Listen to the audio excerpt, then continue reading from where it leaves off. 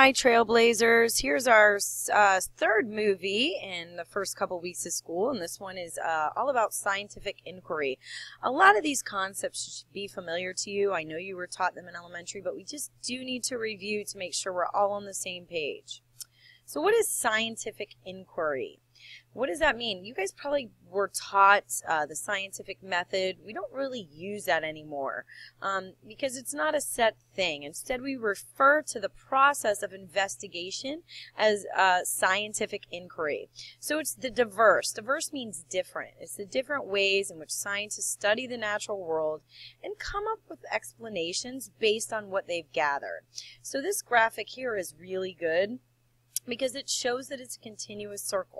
Most scientific investigations do not stop with one experiment. They continue on. All right, so inquiry always begins with a question about an observation. Maybe when you were itty bitty, you asked the question, why is the sky blue? Sometimes your parents give you really cute answers. Or if you're my kid, the answer you got is, well, when blue light hits the molecules in the atmosphere, uh, most of that light bounces off in all directions. Uh, so the blue light gets scattered all around the sky. That's why we observe blue light. Um, and she was probably a little kid and looked at me like, huh? But um, it was those questions, that curiosity that leads to science. So questions come from, obviously, it comes from being curious, from what we experience, from what we see, touch, taste, smell, hear, and inferences we make. A lot of people infer that the sky is blue because the ocean reflects on it. I mean, that's not, sounds silly to some of us, but a lot of people used to think that back in the day. All right, you guys, guys, I know sometimes you hate researching, but it's really, really, really important, especially in science, because people might already have done the work for you. So um, we have to be careful of how we use the internet but there are it's a wonderful tool for us to see what evidence and information people have already gathered. All right, developing hypotheses. So a hypothesis is a uh, possible answer to a scientific question. It is not a prediction. Okay, predictions are what we think are going to happen. Hypotheses are answers to questions. They're not fact either. Okay, so we should test everything in science, everything that we possibly can. A matter of fact, hypotheses must be testable.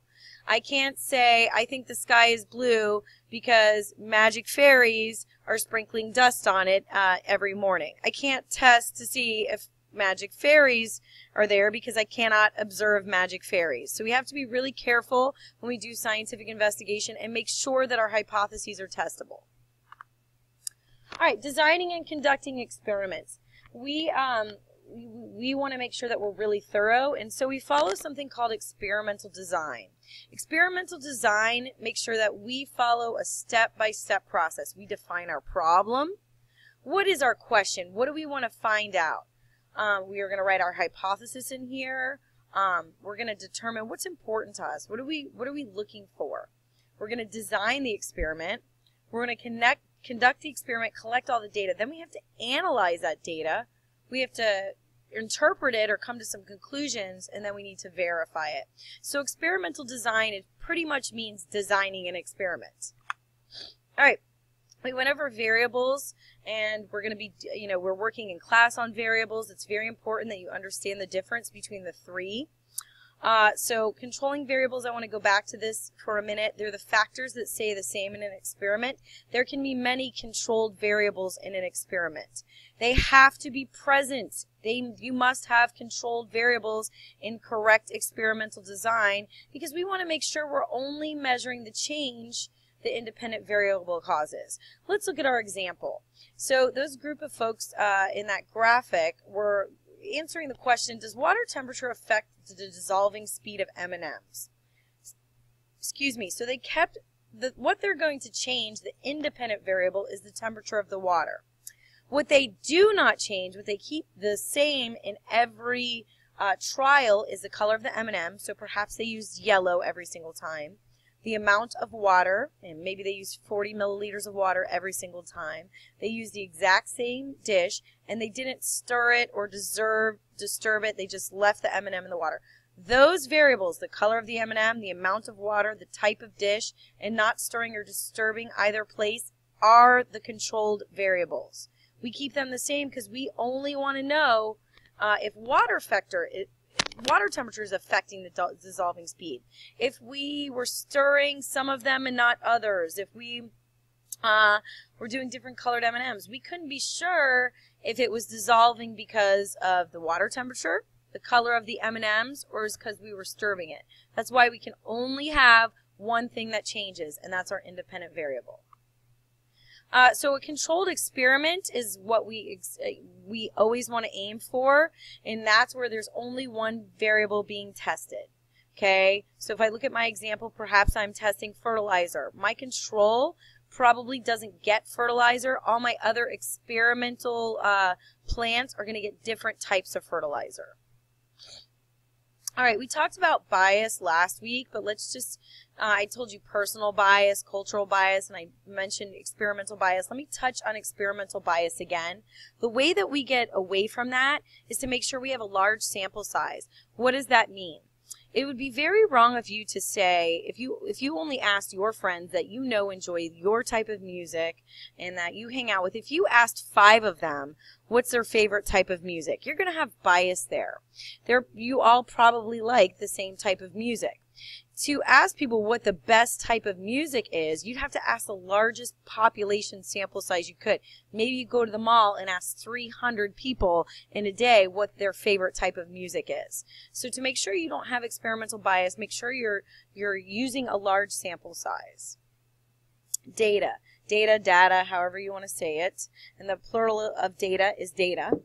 So data are the facts, figures, and other evidence that we gather. We gather them through either uh, qualitative observations or quantitative. Always, always, always in here, I'm going to have you organize your data into some type of chart or table. Um, that just helps us to then go ahead and graph it. And why do we graph in science? Because we need to understand the data we gathered. And uh, next week, we're going to have more um, another video just on graphing and homework assignment just on graphing so that we're all on the same page. All right, conclusions. We've, you've seen this graphic before. This is that CER method, and this is pretty much it. Your claim in this case is generally your hypothesis. Your evidence is all the data you collected. Your reasoning is your conclusion. What are you saying? How, why did you get that result? Uh, the data, your conclusion either supports or does not support your hypothesis, and then you need to tell why that happened. And we'll get more into this. We'll definitely practice this technique. All right, replication, uh, replication and repeated trials. Uh, repeated trials, we're going to not just do one uh, experiment of, uh, you know, one thing. If we're going to um, see what uh, lollipop flavor is the favorite in Southwest Middle School, I'd probably uh, do that trial at least three or four times to make sure maybe that cherry is the favorite flavor. If I just did it once, maybe people had colds, um, maybe some people were absent that day, you know, maybe they had something really hot the night before and they burnt their tongue. There's lots of things that can influence an investigation. If I do it more than once and my results tend to be the same, then I've probably done it right. Replication is a little bit different. That means another scientist repeats your experiment. And if they get the same results as you, that's great. That means you're both on the same page. However, if a scientist goes to replicate your experiment and does not get similar results, something's gone wrong, either on your end or theirs, and then you guys have to work out what that issue was. All right, communicate. Scientists communicate by giving talks at scientific meetings. They exchange information on the internet. They publish articles on the journal. Um, so if we, you know, when you go to TED Ed or TED or anything, and we were going to watch this video of this woman talking about the surprising logical minds of babies, she is a cognitive scientist. She's sharing her information in this video. It's 20 minutes long people in nine that speak nine different languages are able to um, um, watch this video. So this is a very powerful way that scientists are able to spend their uh, share their information. Oops, I'm on the wrong slide here. Let me find out where I'm at. All right.